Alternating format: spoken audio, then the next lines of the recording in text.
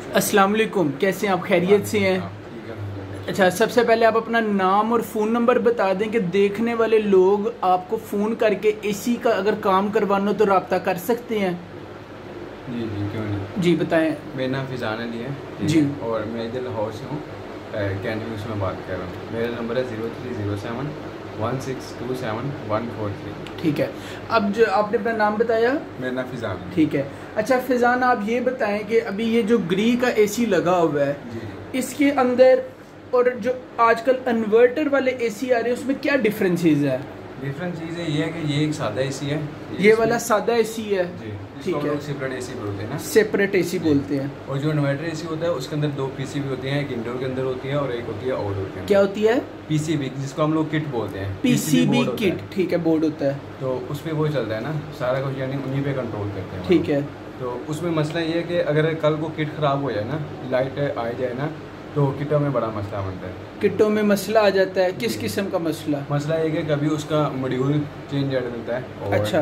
कभी उसके अंदर से आईसी और मुख्तलिफ़ किस्म की चीज़ें हैं जो क्या क्या हैं। कंप्लेन है इन्वर्टर एसी में? अभी तक और किस कंपनी की? सबसे पहले आप हायर का बताएँ। हायर की बहुत ज़्यादा कंप्लेन है ना। A7 इन्वर्टर एसी का जी। ठीक है। उसकी क्या कंप्लेन है?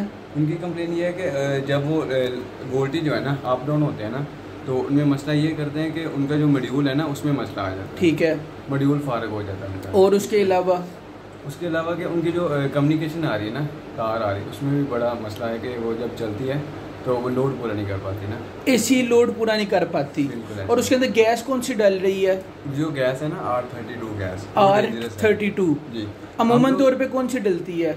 उसमें आर चार सौ दस होती है ना। आर चार सौ दस। जो दो तीन साल से चल रही है आर थर्टी जो गैस है ना जो तकरीबन तीन चार साल से आई है। तो बहुत सारे लोगों ने कहा कि इसमें खतरा है खतरा है। मसला है कि उसको जब आग लगाए ना तो वो नहीं लगती है। तो वो चलते चलते या फटता है तो इसका तो रीज़न कंपनी को भी नहीं पता चला ना कि क्या रीज़न है। ये हायर का हम बता रहे हैं अभी। कि हायर इस वक्त अनसक्सेसफुल जा रहा है एसी फट रही है उसके अंदर आर थर्टी टू गैस है वो डेंजरस है। ठीक है वो नहीं ठीक है। तो आप कौन से एसी सजेस्ट करते हैं? इस वक्त जो एसी सही जा रहे हैं ना वो ग्री कंपनी के हैं। Gree company. तो सबसे महँगा मगर बहुत अच्छे जा बहुत अच्छे हैं। उसका भी इन्वर्टर का प्रॉब्लम निकल रहा है। नहीं नहीं वो इतना नहीं आ रहा जितना कि हार्ड आ रहा है। ठीक है।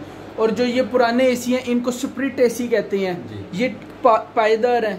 बिल्कुल ये बड़े अच्छे चल रहे हैं। जो देखो ना ये चलाने पे डिपेंड करते हैं मैंने आपको पहले भी बताया। लोग कहते हैं कि जो इन्वर्टर एसी से बिजली की बचत है इससे बिजली की बचत नहीं है इसका आप क्या आंसर देंगे अपने एक्सपीरियंस के हवाले से? बिजली का बचत ये है कि हम लोगों के चलाने पर डिपेंड करता है। हम लोग जिसको जो इन्वर्टर एसी है ना उसे जितना हम लोग ज़्यादा यूज़ करेंगे उतना ही वो ज़्यादा बिल देगा।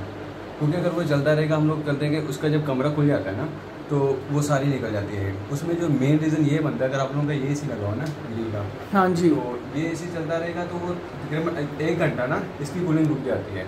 इन्वर्टर ए सी जैसे ही बंद होगा उस कमरे में हवस होना शुरू हो जाती है। अच्छा इन्वर्टर ए सी जैसे ही बंद होगा उसकी हबस होने लग जाती है। क्या वजह है? वजह ये है कि इसके अंदर जो कंप्रेसर होता है ना उसके उसकी वायरिंग हुई होती है। ये उसके अंदर ना कॉपर की तारें होती हैं। और जो इन्वर्टर एसी होता है उसके अंदर जो कंप्रेसर होता है वो होता है दूसरा मैग्नेट कंप्रेसर होता है। हम्म। तो वो जिसकी वजह से वो मैग्नेट हीट पकड़ता है और वो सारा कुछ कूलिंग उसी टाइम ही तो आप देखने वालों को बरदराना आज माशाल्लाह जुमे का दिन भी है। क्या मशवरा देंगे जुमे के दिन की नस्बत से कि लोगों के लिए क्या इसलाह करेंगे? ये है कि जो भी एसी लगवाएँ वो देख से आर चार सौ दस वाला लगवाना चाहिए। थर्टी टू में ये बड़े एसी लगे हैं ना बहुत ज़्यादा एसी है कि जो नहीं फट रहे वो कोई कोई एसी है जो अमूमन जो फट रहा है। तो उसमें भी कोई रीज़न नहीं समझ लग रही कि कौन सा एसी क्यों फट रहा है इसमें ना। तो मसला ये है कि मैं तो यही कहूँगा लोगों को जो भी एसी लें वो आर चार सौ दस में होना चाहिए चाहे ग्री हो कैनविड हो होमेज हो इको स्टार जिसमें आर चार सौ दस गैस डले हाँ। और इन्वर्टर एसी का मशवरा देंगे या कंप्रेसर एसी का मशवरा देंगे? वो तो लोगों के डिपेंड करता है ना आप अपना मशवरा दें। अभी जो सोलर का रीज़न चल रहा है ना उस पर तो इन्वर्टर ही चलेगा। अगर आप लोगों ने वापड़ा यूज़ करनी फिर आप लोग सादा एसी यूज़ करें अच्छा तो ये सोलर पे नहीं चलेगा? लाहौर में ज़्यादा मसला ये बन रहा है कि हमारे इधर से ये पास है जो गंदे नाले गुजरते हैं ना उसकी वजह से जो इन्वर्टर है वो लीक हो जाता है। तो उसमें ना वो लीकेज का बड़ा मसला बना रहता है। वापरेटर कभी लीक हो रहा है कभी ऑडोर लीक हो रहा है कभी फोर वे वाल लीक हो रहा है तो इसमें बड़ा इशू हो रहा है। नालों की वजह से? हाँ वो कार्बन आता है ना उसमें से। नाले अच्छा। जो होता है ना उसका जो कार्बन होता है ना वो एसियों पे जम जाता है।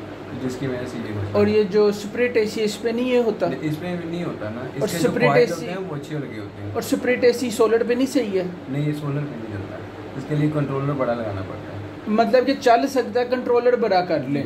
मतलब ये चलेगा। और आप अभी तक जो है आपकी बात से ये पता चला कि स्प्रिट एसी पायदार है सो इन्वर्टर की नस्बत। बिल्कुल ऐसे ही है। चलें। एक दफ़ा दोबारा नंबर बता दें और लोगों को ये भी बता दें कि अगर आप लोगों ने एसी का कोई भी काम करवाना है कितनी हदूद तक आप सर्विस दे सकते हैं? पूरे लाहौर में जब जिधर चाहे आप कॉल कर सकते क्या चार्जेस होंगे?